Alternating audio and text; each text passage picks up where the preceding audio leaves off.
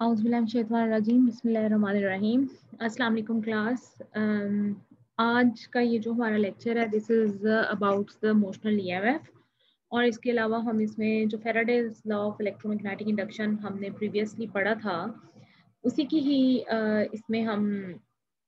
Mathematical form देखेंगे और इसके अलावा आज हम कुछ लेंजेस लॉ के बारे में भी पढ़ेंगे। तो सबसे पहले तो देख लेते हैं कि व्हाट इज़ मोशनल ईएमएफ तो जब हमारे पास कोई इस किस्म का सेटअप होता है, जैसे if we have the magnetic field और ये क्रॉस जो है, ये आपको शो कर रहा है कि मैग्नेटिक फ़ील्ड इनवर्ड डायरेक्शन में है। और उसमें हम दो कंडक्टिंग रेल्स रख लें और उसके ऊपर एक कंडक्टिंग रॉड रख लें। तो अगर इस रॉड को हम मूव करते हैं इस मैग्नेटिक फ़ील्ड में तो due to the movement of this rod due to the relative motion of this rod with respect to the magnetic field तो इसमें प्रोड्यूस हो जाती है एक इंड्यूस्ड ईएमएफ तो ये जो EMF इंड्यूस हुई है which is due to the motion of the conductor across a magnetic field तो उसको आप मोशनल uh, EMF कह सकते हैं। अब हम मैथमेटिकली इसको कैलकुलेट कर लेते हैं और हम देखते हैं कि किस तरीके से जो है ये जनरेट होती है और क्या इसकी मैथमेटिकल वैल्यू हो सकती है। तो उसके लिए हम कंसिडर करते हैं कि हमारे पास एक यूनिफॉर्म मैग्नेटिक फ़ील्ड जो है वो प्रेजेंट है। Magnetic field is directed into the paper और ये हमारे पास एक रॉड है जिसकी के लेंथ डी है कंडक्टिंग रॉड है, या कंडक्टर कह सकते हैं। और इसको हमने दो रेल्स के ऊपर कंडक्टिंग रेल के ऊपर रखा हुआ है। ये जो रेल्स हैं, ये दो पैरेलल डायरेक्शन में कंडक्टिंग रॉड्स पड़ी हुई हैं तो इनको हम रेल्स कह रहे हैं। ठीक है जी? इसके ऊपर ये पड़ा है। अब इसका जो वन साइड है इस कंडक्टिंग रेल का। उसको हमने किसी गलवानोमीटर के साथ अटैच किया हुआ और डायरेक्शंस कैसे हो सकती हैं कि हम ये कंसिडर करते हैं कि if it is moving toward right तो this will be the x direction और जो अपवर्ड डायरेक्शन है दैट इज़ वाई और इनवर्ड या आउटवर्ड जिस भी डायरेक्शन में हम मैग्नेटिक फ़ील्ड ले रहे हैं, उसको हमने जेड डायरेक्शन में लिया हुआ so that we can as we have taken it into the paper तो आप ये कह सकते हैं कि मैग्नेटिक फ़ील्ड की जो डायरेक्शन है, वो माइनस के हैट है। क्योंकि माइनस जेड एक्सिस के अलॉन्ग है अब जब हम इस रॉड के ऊपर फोर्स एक्सर्ट करते हैं towards right which is along the x axis तो फिर क्या होता है कि इसके मूव करने की वजह से हमें नज़र आता है कि जब तक ये मूव करती रहती है गिलवानोमीटर पर जो नीडल है वो डिफ्लेक्ट करती है और इस डिफ्लेक्शन का मतलब क्या है कि इसमें कोई ना कोई करंट या ईएमएफ इंड्यूस हो रही है। क्यों? क्योंकि गलवानोमीटर हमारे पास एक ऐसा डिवाइस है जिसको हम कहते हैं this is current sensitive device and it senses the current not mere but senses the current if there is any current in the circuit और ये सारा देखें, एक क्लोज लूप बनी हुई है जिसको आप एक सर्किट कह सकते हैं। अच्छा जी, अब क्या होता है कि रॉड को हमने राइट डायरेक्शन में मूव किया with some velocity v as it is directed toward x axis तो हम कह सकते हैं कि i hat is the direction of the velocity तो उसके नतीजे में क्या हुआ है कि इसमें एक ईएमएफ जनरेट होना शुरू हो गई।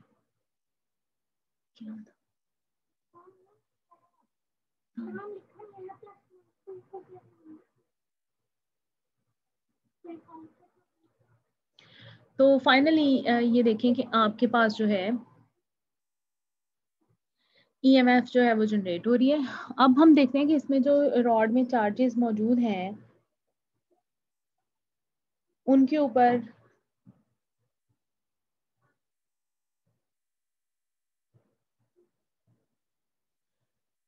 फोर्स ज़रूर अप्लाई होगी। In case of magnetic field जब कोई चार्जेस मूव करते हैं तो उनके ऊपर कुछ ना कुछ जो फोर्स है वो अप्लाई uh, होती है। अच्छा जी हम ये बात करें कि जब राइट साइड पे ये मूव करेगा तो क्योंकि इसके अंदर जो रॉड है it is made up of some material और मटेरियल के अंदर ज़ाहिर है पॉजिटिव और नेगेटिव चार्जेस और ईच एंड एवरीथिंग मौजूद होता है। तो अब क्या होगा कि ये बिल्कुल वही इस टाइम सिनेरियो पैदा हो गया जो आपने पढ़ा था कि जब आप किसी भी कंडक्टर को मूव कराते हैं किसी मैग्नेटिक फ़ील्ड में तो उसमें जो चार्जेस मौजूद होते हैं उनके ऊपर कोई ना कोई फोर्स जो है वो अप्लाई हो रही होती है क्योंकि कंडक्टर में चार्जेस मौजूद हैं। तो फाइनली uh, जो फोर्सेस के ऊपर ऊपर अप्लाई होगी मैग्नेटिक फोर्स आप उसको कहेंगे is equal to q v cross v cross b हम क्यों कह रहे हैं? क्योंकि this b is the velocity of the rod तो इसमें जितने भी चार्जेस हैं उन सब की वेलोसिटी भी यही वी ही होगी। और b is the magnetic field तो जो इन चार्जेस के ऊपर फोर्स लग रही है that is q v cross b अब हम जब ये वैल्यूज़ इसमें अप्लाई कर देते हैं तो we get f m is equal to q v cross b v is in the direction of i hat and b is in the direction of negative k hat and here we have place this negative sign i cross k अब यहाँ आपके पास वो सारे previous rules scalar और vector product के आ जाते हैं that you have already studied even in your matric and intermediate classes and obviously in the first one और टू सेमेस्टर्स एज वेल तो अब आप ये देखेंगे जब हम इसके ऊपर आई क्रॉस के अप्लाई करते हैं तो हमारे पास जो आंसर आता है that is minus j hat i cross k का आंसर माइनस जे हैट होता है। क्योंकि k cross i will give you j hat और ये रिवर्स है तो माइनस जे हैट आएगा this minus j hat and this minus will be cancelled out and क्योंकि v is in the direction of x axis और v जो है it is inside there is angle of 90 तो v भी sine theta आपको v sine 90 देगा और sine 91 हो जाएगा तो this will be q v b j hat यानी फोर्स जो लग रही है चार्ज पार्टिकल्स पर, जो कि मौजूद हैं इस कंडक्टिंग रॉड में it is in the direction of y which is j hat which means in the y axes की तरफ़ वो मूव करेंगे। और इसका मतलब क्या है? ये हमने शो किया हुआ है डायरेक्शन को। तो वाई मीन्स जे हैट और इसका मतलब जो भी चार्जेस हैं they will be directed from b to a और कौन से चार्जेस होंगे ये? That are positive charges negative charges के लिए फिर वो डाउनवर्ड डायरेक्शन में मूव करेंगे। तो बी से ए की तरफ़ चार्जेस पैदा होना शुरू हो जाएँगे। अब क्या होगा कि दिस ए वाली साइड पर पॉजिटिव चार्जेस गैदर हो जाएँगे बी वाली साइड पर नेगेटिव हो जाएँगे, क्योंकि यहाँ पर डेफिशिएंसी हो गई है पॉजिटिव चार्जेस की, यहाँ एक फ़ील्ड भी डेवलप हो जाएगा। और उस फ़ील्ड के डेवलप होने से यहाँ पोटेंशियल डिफरेंस भी पैदा हो जाएगा। लेकिन फ़िलहाल हम ये बात करें कि वो चार्जेस जो है वो फ्लो करना शुरू कर देंगे and there will be an anticlockwise current in this loop finally अब जो इलेक्ट्रिक फ़ील्ड इसमें डेवलप हुआ है, यानी पॉजिटिव चार्जेस सारे ए वाली साइड पे आ गए हैं नेगेटिव बी वाली साइड पे आ गए हैं तो आप ये देखें कि यहाँ पर एक इलेक्ट्रिक फ़ील्ड बन गया है। अभी तक जो चार्जेस जा रहे थे, वो उनके ऊपर कोई खास पोटेंशियल अप्लाई नहीं हो रहा था, वो जाते जा रहे थे एंटी क्लॉकवाइज डायरेक्शन लेकिन जब चार्जेस यहाँ डेवलप हो जाएँगे तो फिर ये जो नेगेटिव चार्जेस हैं they will attract this positive charge downward लेकिन वो मूव कर रहा है ऑपोजिट डायरेक्शन में। तो यहाँ पर फिर आपके पास वो एक पोटेंशियल ग्रेडियंट का कॉन्सेप्ट आता है, वो पैदा हो जाता है। और अब आपके पास जो फोर्स लगेगी इसके ऊपर, या इलेक्ट्रिक फ़ील्ड इंटेंसिटी जो डेवलप होगी that will be equal to force per unit charge मतलब जितनी मैग्नेटिक फोर्स चार्जेस पे लग रही है पर यूनिट चार्ज मैग्नेटिक फोर्स हमने निकाली हुई है क्यू वी हम उसको यहाँ अप्लाई करेंगे। That will be divided by q और साथ में जे हेट आ गया। तो क्यू क्यू से कैंसिल हो गया। And this will be is equal to v b here v is the velocity तो magnitude of electric field will be equal to e is equal to v b और previously uh, पहला course जो आपने पढ़ा है electricity and magnetism one का उसमें आप ये पढ़ चुके हैं कि इन इंटेग्रल फॉर्म जो ईएमएफ है this is equal to e dot d यानी uh, जिसमें ये बेसिकली आया कहाँ से है जब आप कहते हैं कि electric field is the negative gradient of the potential तो ये जो पोटेंशियल डिफरेंस होता है this is a sort of EMF तो ये देखिए जी, आपके पास epsilon e which is e m f is equal to e dot d r और साथ में आ गया इंटीग्रेशन का साइन मतलब होल पाथ पर आप इसको ले रहे हैं। अब इलेक्ट्रिक फ़ील्ड और आर ये दोनों सेम डायरेक्शन में है। आर कोई लेंथ है, यानी if this is the length of the which is rod और इसमें से कुछ स्मॉल पोर्शन हम ले लें जो कि डी है और इलेक्ट्रिक फ़ील्ड इसमें डेवलप हुआ हुआ है। क्यों? क्योंकि चार्जेस अपर साइड पर हैं और नेगेटिव चार्जेस लोअर साइड पर हैं तो ऊपर से नीचे की तरफ़ एक इलेक्ट्रिक फ़ील्ड डेवलप हुआ हुआ है। तो ई डॉट डी आर की वजह से यहाँ पर वी ए और वी बी की वजह से एक पोटेंशियल डिफरेंस पैदा हो गया और उसी को हम ई एम एफ़ कह रहे हैं। तो आपके पास ये जो ई डॉट डी आर है d r is small length element अगर आप इसको whole the conducting rod integrate करते हैं तो आपके पास ज़ीरो टू डी आप इसको इंटीग्रेट करेंगे और क्योंकि इलेक्ट्रिक फ़ील्ड और d r is in the same direction तो आप कॉस थीटा को कॉस ज़ीरो करके वन कर सकते हैं और आपके पास ई e की वैल्यू आ गई वी बी और डी आर और आर अब जब इसको इंटीग्रेट करते हैं अच्छा सॉरी यहाँ ये वाला आर नहीं आएगा it is only v b d r ये जो ई e आर है,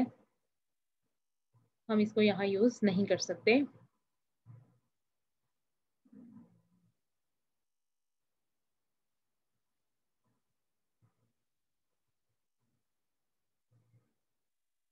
इसको आप यहाँ से कैंसिल कर दें रिमूव कर दें। This is v b d r अब ये देखेंगे, जब आप इसको इंटीग्रेट कर लेते हैं तो d r will give you r और उस पर जब लिमिट्स अप्लाई करते हैं ज़ीरो टू डी तो you get v b d तो e m f is equal to v b d ये आपके पास ई एम एफ़ बन जाती है। यहाँ से अगर आप इंड्यूस करंट निकालना चाहें तो induce current according to second according to Ohm's law आपके पास ये जो इंड्यूस करंट होगा that will be equal to v is equal to i r यहाँ पर क्योंकि हम पोटेंशियल को ई एम एफ़ ले रहे हैं तो i is equal to e by r आ जाएगा। और फाइनली एप्सलॉन यानी ई एम एफ़ की वैल्यू आप पुट करते हैं v v d over r तो ये आपके पास करंट जो है, वो आपको पता चल गया कितना इस लूप में इंड्यूस हो रहा है।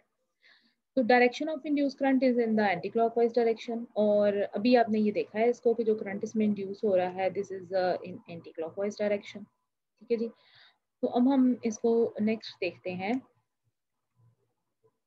कि इसके अकॉर्डिंगली अब हम अगर इसको देखें कि इसमें मजीद और किस किस्म की फोर्सेस पैदा हो रही हैं to find out the relationship between this induced current and some all directions तो अब क्योंकि रॉड जो है, वो एक करंट कैरिंग रॉड बन चुकी है इसमें एंटी क्लॉकवाइज करंट फ्लो कर रहा है। तो इस एंटी क्लॉकवाइज करंट की वजह से भी इसके ऊपर कोई फोर्स जो है वो डेवलप हो जाएगी, जिसको आप मैग्नेटिक फोर्स कहते हैं। आप मैग्नेटिक फोर्स दो तरीके की बढ़ चुके हैं चार्जेस पे भी बढ़ चुके हैं और कंडक्टर पे भी बढ़ चुके हैं, जिसकी लेंथ गिवन और जिसमें करंट मूव कर रहा होता है। ठीक है जी? अब क्योंकि ये वही रॉड बन गई जिसमें करंट चल रहा है और मैग्नेटिक फ़ील्ड जो है वो इनवर्ट डायरेक्शन है? जो करंट की डायरेक्शन है, वो वही है जो चार्जेस की डायरेक्शन है, यानी एंटी क्लॉकवाइज और वो वही है जो आपके पास रॉड की डायरेक्शन तो अब आप लगाएँगे f is equal to i l cross b और एल की डायरेक्शन और बी की डायरेक्शन आपके पास 90 डिग्रीज पे है बी की डायरेक्शन माइनस के है एल की डायरेक्शन जो है वो आपके पास वाई है. जे है तो जे क्रॉस के माइनस के जब हम करते हैं तो we get minus i hat j cross k is equal to i और ये माइनस साइन आ गया। तो माइनस आई हैड का मतलब है और एल की जगह पर हमने डी पुट किया इसकी मैग्नीट्यूड माइनस आई का मतलब क्या होगा कि ये जो आपके पास रॉड राइट साइड पे मूव कर रही थी जिसको आपने मूव करवाया हुआ था अब इसमें इंड्यूस करंट की वजह से एक फोर्स डेवलप हो रही है that is in the negative i hat direction यानी opposite to the direction of the force which you have applied to move this rod तो इन दिस वे अब आपके पास एफ़ एल की जो वैल्यू है, वो आ जाती है आई डी बी के बराबर। तो जब हम आई की वैल्यू पुट करते हैं which is v b d तो ये हमारे बाय आर तो ये हमारे पास v b square d square over r आ जाती है। अब हम देखते हैं कि पावर्स का आपस में क्या रिलेशनशिप है। मैकेनिकल पावर वो पावर थी जो हमने उसके ऊपर लाई की हुई थी। और आप इसको कह सकते हैं this is the rate of doing work और if you remember in mechanics you have study this power is equal to F dot V तो एफ़ एल डॉट वी हम देखते हैं। तो कि ये क्या बनती है? तो आप एफ़ एल की वैल्यू पुट करते हैं वी की पुट करते हैं तो आपके पास ये आ जाती है मैकेनिकल पावर इसी तरीके से जब इलेक्ट्रिकल पावर की बात करते हैं this is equal to I square R this is the rate of energy dissipated in the loop having the resistance R due to the induced current I is here induced current हम I की value put कर देते हैं और साथ में are लेते हैं तो हमारे पास जो रिज़ल्ट आता है that is V square B square D square over R which is exactly same to the mechanical power यानी हमें ये पता चलता है कि जो मैकेनिकल पावर उसके ऊपर लग रही है इंड्यूस करंट की वजह से, वो सेम है तो आपके पास इलेक्ट्रिकल और मैकेनिकल पावर के सेम रिज़ल्ट आ रहे हैं। यानी टोटली जो मैकेनिकल पावर है, वो इलेक्ट्रिकल पावर में कन्वर्ट हो रही है और टोटली जो इलेक्ट्रिकल पावर है, वो मैकेनिकल पावर में कन्वर्ट हो रही है। यानी, आपने उसको मूव करवाया, उसकी वजह से उसमें करंट इंड्यूस हुआ करंट की वजह से अगेन वो मूव करना शुरू हो गई ऑपोजिट डायरेक्शन में। तो अब ये जो इंड्यूस करंट की पावर है ये आपके पास उस मैकेनिकल पावर के बराबर है जिसके साथ इंड्यूस करंट उसको मूव करा रहा है। तो in this this is the basic principle of alternating generator as well तो uh, एक जो हमें यहाँ से इम्पोर्टेंट बात समझ में आती है वो ये आती है कि इन दिस वे आप ये देख सकते हैं कि अगर ये जो डायरेक्शन है इंड्यूस uh, करंट की वो अपोजिट है तो उसकी वजह से जो फोर्स लग रही है वो नेगेटिव एक्स एक्सिस में लग रही है। तो अगर ये ऐसे ना होता और ये सेम डायरेक्शन में ही होती तो फिर क्या होता कि आप एक दफ़ा जस्ट उसको पुश कर देते रॉड को मैग्नेटिक फ़ील्ड में रख के और वो हमेशा चलती रहती है और हर वक्त करंट जो है वो आपके पास जनरेट होता रहता।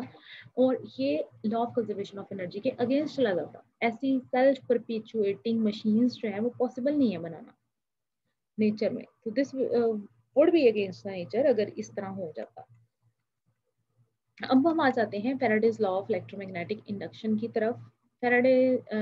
जैसे हम प्रीवियसली पढ़ चुके हैं अपने लेक्चर में कि फेराडे जो था, उसने एक इलेक्ट्रोमैग्नेटिक इंडक्शन का लॉ दिया था और जो कि ये स्टेट करता है कि जब भी कभी किसी कॉइल में मैग्नेटिक फ्लक्स चेंज होता है तो उसकी वजह से एक ईएमएफ जो है वो इंड्यूस होती है और this induced EMF is directly proportional to the rate of change of flux in the in some coil and if it has N number of turns तो वो भी साथ में आता है। तो फाइनली यहाँ पर हमारे पास देखें कि ये जो ईएमएफ e है, ये सिर्फ़ उस वक्त तक पैदा हो सकती है जब तक जो मैग्नेटिक फ्लक्स है वो चेंज होता रहेगा। अदरवाइज़ दिस और ये जो इंड्यूस्ड ईएमएफ है it will be directly proportional to the rate of change of magnetic flux और ये हमारे पास कुछ इसकी एग्जांपल्स थी कि किन किन कंडीशन में और ये हम पढ़ चुके हुए हैं। जिसमें हमने म्यूचुअल इंडक्शन देखा था, यानी हमने कहा था प्राइमरी में अगर कोई करंट चेंज होता है तो सेकेंडरी में ई एम एफ़ जनरेट हो जाती है। सेल्फ में देखा था कि अगर इट सेल्फ किसी कोयल में करंट जो है वो चेंज हो रहा है तो उसकी वजह से ई एम एफ़ जनरेट हो जाती है। फिर हमने देखा था to and fro motion of the magnet in a और लूप या तो आप मैग्नेट को इसमें मूव करवाएँ कॉयल में तो ई एम एफ़ जनरेट होगी, या कॉयल को मूव करवाते जाएँ तो भी हो सकती है। इसी तरीके से अगर आप किसी भी कॉयल को, किसी मैग्नेटिक फ़ील्ड में करा रहे हैं, उस move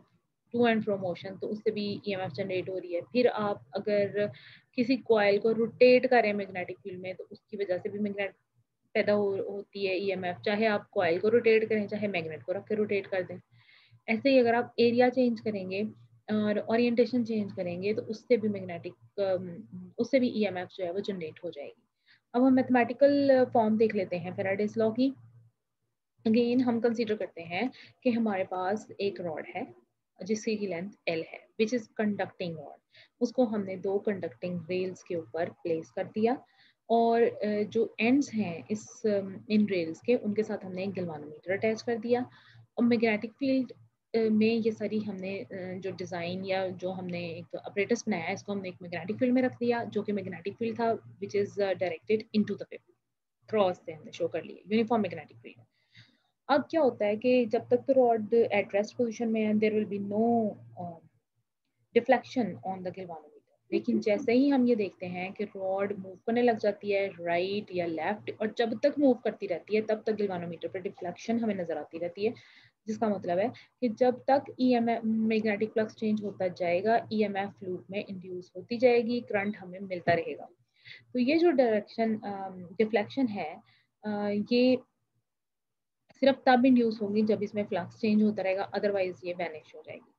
तो हम देखते हैं कि इसके हिसाब से फिर जो मोशनल ईएमएफ इसमें जनरेट हुई है, अगर ये कांस्टेंट वेलोसिटी के साथ मूव कर रही है राइट डायरेक्शन में तो that is equal to minus V B L where V is the velocity of the rod with with which it travels toward the right. हम ये कंसिडर करते हैं कि ये पहले इस पोजीशन ए पे थी और यहाँ से after some time D T ये एक न्यू पोजीशन पर चली गई है तो इसने जो डिस्प्लेसमेंट कवर किया है दैट इज़ डी एक्स तो अब जो वेलोसिटी होगी that will be the rate of change of displacement that will be equal to delta X D X by D T तो हम इस v की वैल्यू जो है, इसमें पुट कर देते हैं। E is equal to minus D X by D T into V bell into B L अब यहाँ पर आप ये देखें कि एक्स और एल जो है, ये आपके पास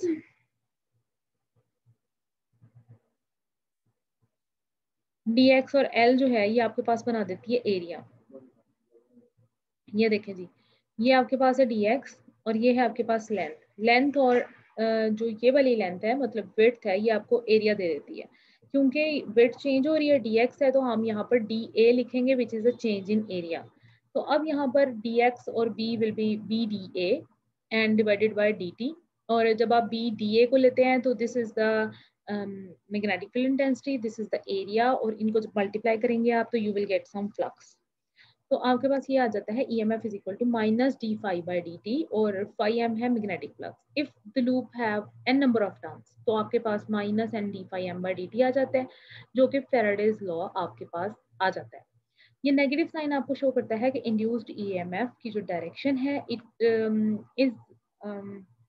always in opposite to the cause that has created this EMF यानी ये EMF हमेशा अपोज करेगी, जिसकी वजह से ये प्रोड्यूस हो रही है। तो मैग्नेटिक फ्लक्स को जब हम देखते हैं तो this is equal to B dot D A यानी किसी भी एरिया में से जो नंबर ऑफ़ लाइंस गुजरती हैं, आप उनकी स्केलर प्रोडक्ट को कह देते हैं मैग्नेटिक फ्लक्स और ये बी डॉट डी ए कैसे बनेगा कि ये वो आपके पास एरिया है, जो चेंज हुआ है, यानी डी एक्स और एल वाला, और इसमें से मैग्नेटिक लाइंस डाउनवर्ड डायरेक्शन में गुजर रही हैं तो यहाँ से जो फ्लक्स पैदा होगा that will be D phi M और अगर हम इसको फाई एम लेना चाहें तो हमें इसको करना पड़ेगा इंटीग्रेट तो इंटीग्रेट हम कर देते हैं तो ई एम एफ़ विल में हम इसको पुट कर देते हैं डी फाई एम की वैल्यू को तो we get minus N D by D T integral V dot D A तो इंटेग्रल फॉर्म में ये हमें फेराडेज लॉ मिल गया। अब EMF जो है this is related to electric field as EMF is equal to E dot D R integral ये uh, हम पहले भी डिस्कस कर चुके हैं। हम इस वैल्यू को EMF की जगह पे पुट कर देते हैं तो हमारे पास E dot D R is equal to minus N D by D T B dot D A integral आ जाएगा। अगर नंबर ऑफ़ टर्न्स वन है तो एन विल बी वन और ये इक्वेशन हमारे पास इस फॉर्म में चेंज हो जाएगी which is the integral form of Faraday's law जिसमें E dot D R integral is equal to minus D by D T B dot D A integral आ जाता है। अब अगर हम इसको डिफरेंशियल फॉर्म में ले जाना चाहें तो हम क्या करेंगे? हम ये देखते हैं कि ये हमारे पास इंटेग्रल है। अब अगर आपको याद हो तो क्योंकि यहाँ पर जो हमारे पास एरिया है दैट इज़ इनक्लोज एरिया तो हमारे पास एक और ये जो लाइन एलिमेंट है, ये भी इनक्लोज है, क्योंकि एक लूप बनी हुई है। तो जब हमारे पास क्लोज लूप होती है ना तो फिर हम स्टोक्स थ्योरम अप्लाई कर सकते हैं। स्टोक्स थ्योरम आपको ये कहता है कि if you are dealing with some closed loop तो you can grow go from line to surface element you can go from length to area यानी आप उसको ऐसे अप्लाई करेंगे कि if this is the electric field dot D R और ये एक क्लोज लूप में इलेक्ट्रिक फ़ील्ड डेंसिटी है, यानी कोई करंट फ्लो कर रहा है क्लोज लूप में, जिसकी वजह से इलेक्ट्रिक फ़ील्ड डेवलप हुआ हुआ है। तो फिर ये जो ई डॉट डी आर है this will be equal to the curl of E dot D A मतलब ये जो ई डॉट डी आर है, ये आपके पास कर्ल ऑफ़ ई में चेंज हो जाएगा डेल क्रॉस ई में। तो हम ई डॉट डी आर की जगह पर curl of E dot D A put करेंगे, यानी हम लाइन से सरफेस में चले गए अब हम ये वैल्यू पुट कर देते हैं ई डॉट डी आर की जगह पर। जब हम इसको पुट करते हैं तो we get del cross E dot D A और यहाँ पर भी डी ए देखें, दोनों तरफ़ डी ए तो अब हम क्या करते हैं, हम ये माइनस वाले टर्म को उठा के दूसरी साइड पे ले जाते हैं और इसको ऐड कर देते हैं। जब हम इसको ऐड करेंगे तो we will get del cross E plus D V by D T dot D A is equal to zero अब ये क्वेश्चन हमें क्या कह रही है कि ये जो टर्म्स हैं जो मल्टीप्लाई हो रही हैं या तो इसमें से एरिया ज़ीरो या फिर ये चीज़ ज़ीरो अब एरिया तो हमें नज़र आ रहा है। It can not it can never be zero ज़ाहिर जो चीज़ हमें नज़र आ रही है विजिबल है मौजूद है वो तो ज़ीरो नहीं हो सकती। तो इसका मतलब है ये जो क्वांटिटी है ना जो ऐड हो रही है कर्ल ऑफ़ ई और rate of change of magnetic field intensity ये ज़रूर ज़ीरो हो सकती तो फाइनली uh, हम भी लिखते हैं कि this del cross E plus D V by D T is equal to zero then this del cross v is equal to minus T B by T यानी आपके पास जो Faraday law of electromagnetic induction है that is equal to rate of change of flux.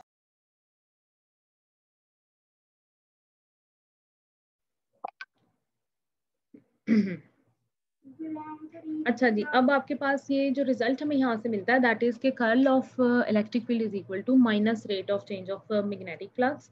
magnetic field मतलब अगर कहीं पर magnetic field change हो रहा है तो उसकी वजह से आपके पास एक इलेक्ट्रिक फ़ील्ड इंड्यूस हो सकता है। ये आपको इक्वेशन ये बता रही है। तो this equation is called the differential form of Faraday's law of electromagnetic induction और इसको आपने हमेशा याद रखना क्योंकि हम बाद में मैक्सवेल इक्वेशंस की बात करेंगे तो उसमें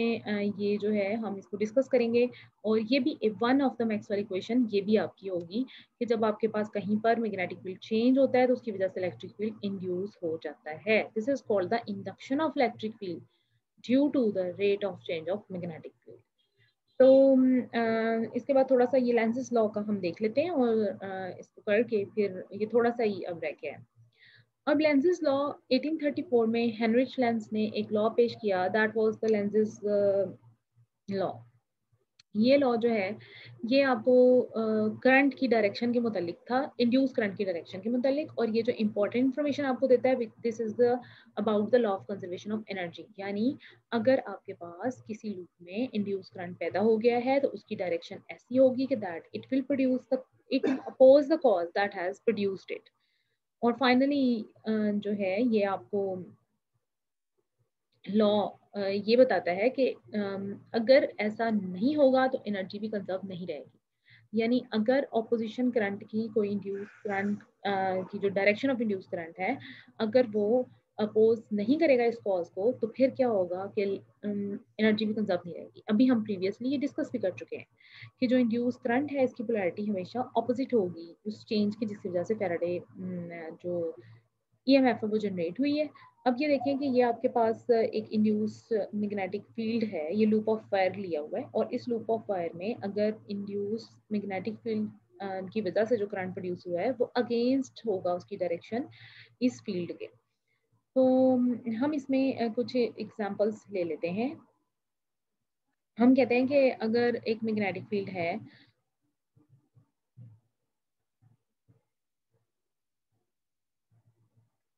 ये अगर एक कॉयल है और कॉयल को हमने कनेक्ट किया गिलवानोमीटर से और this is a bar magnet bar magnet जब इसकी तरफ़ मूव करेगा ना तो फिर क्या होगा कि इस कॉयल का भी जो मैग्नेटिक फ़ील्ड पैदा होगा, वो नॉर्थ के सामने नॉर्थ पैदा हो जाएगा। अब जब नॉर्थ प्रोड्यूस होगा तो अब आप लगाएँ जरा इस पर राइट हैंड रूल यानी आप की जो थम की डायरेक्शन है should be in the direction of north और ये जो आपकी फिंगर्स हैं curling fingers that will tell you the direction of induce current आप देखें, आपके पास जो इंड्यूस करंट है, वो इस फॉर्म में होगा कि वो एंटी क्लॉकवाइज डायरेक्शन में पैदा हो रहा है। तो एंटी क्लॉकवाइज डायरेक्शन में पैदा हो जाएगा। यानी अब जो आपके पास नॉर्थ और नॉर्थ रिपेल करेंगे, ये इसको अवे धकेलने की कोशिश करेगा। लेकिन अगर आप इस मैग्नेट को अवे मूव करवा लेंगे अपनी तरफ़ तो फिर क्या होगा? इस कॉयल के आगे साउथ पोल प्रोड्यूस हो जाएगा और करंट की डायरेक्शन गिलवानोमीटर पे आपको नज़र आएगी, एकदम चेंज हो जाएगी। यानी पहले एंटी क्लॉकवाइज थी ना, अब क्लॉकवाइज हो जाएगी। यानी अब वो जो इंड्यूस करंट है, वो अपोज करेगा उस चेंज को जो अभी हो रही है। मतलब वो अपोज करेगा इस डिक्रीजिंग चेंज को। यानी आप ये, इन अदर वर्ड्स ये कह सकते हैं कि जो इंड्यूस करंट पैदा होता है ना, वो हर वक्त एक कांस्टेंट स्टेट ऑफ़ मोशन को मेंटेन करने की कोशिश करता है। वो चाहता है कि हर वक्त मैग्नेटिक फ़ील्ड जो है ना, उसकी स्ट्रेंथ एक जैसी रहे। और उसके लिए क्या होता है कि जब आप नॉर्थ को मूव कराते हैं तो एकदम मैग्नेटिक फ़ील्ड इंक्रीज हो जाता है तो वो ट्राई करता है ये डिक्रीज हो जाए। इसी तरीके से जब आप इस पार मैग्नेट को अवे मूव करवाते हैं तो इसमें इस तरीके से मैग्नेटिक फ़ील्ड पैदा होता है कि वो चाहता है कि वो इसको अट्रैक्ट करे। यानी अब वो क्या करता है कि उस और मैग्नेटिक फ़ील्ड क्योंकि डिक्रीज हो रहा है तो उसको इंक्रीज करने की कोशिश करता है। इंक्रीज करने की कोशिश में वो इसको अट्रैक्ट करने के लिए यहाँ साउथ पोल पैदा कर लेता है। तो इंड्यूस करंट जो पहले एंटी क्लॉकवाइज था, अब क्लॉकवाइज डायरेक्शन में पैदा हो रहा है। तो ये आपके पास, आपको नज़र आ रहा है कि अगर आप मैग्नेट को पुश कर रहे हैं दैट इज़ कॉर्स तो इंड्यूस करंट उसको रिपेल करेगा। इसी तरीके से अगर आप मैग्नेट को पुल कर रहे हैं if it is the cause तो फिर जो इंड्यूस करंट पैदा हो रहा है, that will try to attract the magnet. तो इन दिस वे ये आपके पास सिनेरियो था। अब हम देखते हैं कि ये इसको law of conservation of energy कैसे देता है। तो उसके लिए हमें लेना पड़ेगा यही अपना जो प्रीवियस सिमेट्री हमने ली थी, कि हमारे पास these are conducting rails that are connected with galvanometer और इसके ऊपर ये आपके पास मौजूद है एक कंडक्टिंग रॉड अब आप इस कंडक्टिंग रॉड को मूव करवाते हैं जब फोर्सफुली राइट डायरेक्शन में तो क्या होता है, इसके अंदर इंड्यूस करंट पैदा हो जाता है। हमने ये देखा कि जो इंड्यूस करंट पैदा हुआ आई उसकी वजह से जो एफ़ एल फोर्स है आई एल क्रॉस बी से, वो पैदा हो गई लेफ़्ट डायरेक्शन में। यानी ये जो इंड्यूस करंट है, ये इसको लेफ़्ट डायरेक्शन में मूव कराने की कोशिश करेगा। और उससे क्या होगा कि ये हमेशा मूव नहीं करता रहेगा, ये सिर्फ़ तब तक मूव करेगा जब आप एक्स्ट्रा फोर्स लगाते रहेंगे। अगर आप फोर्स नहीं लगाएँगे तो ये फर्दर मूव नहीं करेगा। क्यों? क्योंकि ये जो इंड्यूस करंट है, ये इसके ऑपोजिट डायरेक्शन में लग रहा है और ये इसको रोकेगा। और अभी भी जो रॉड है स्मूथली मूव नहीं करेगी, ये जर्क्स के साथ मूव करेगी। तो you have to move it forward तो इन दिस वे अगर देखिए, आप इसको मूव ना करते और ये इंड्यूस करंट ऐसे होता कि क्लॉकवाइज डायरेक्शन में पैदा हो जाता तो फिर क्या होता है? ये फोर्स भी सी डायरेक्शन में पैदा हो जाती तो फिर ये फोर्स बढ़ जाती ये रॉड हमेशा मूव करती रहती जो कि पॉसिबल नहीं है और जो law of conservation of energy के अगेंस्ट है। तो इन दिस वे आप ये कह सकते हैं कि जो लेंजेस लॉ है this is in accordings to law of conservation of energy तो ये हमारा आज का लेक्चर था। इन ताला हम अपना जो नेक्स्ट है, कुछ इंडक्शन के बारे में पढ़ेंगे। नेक्स्ट लेक्चर हमारा वही होगा।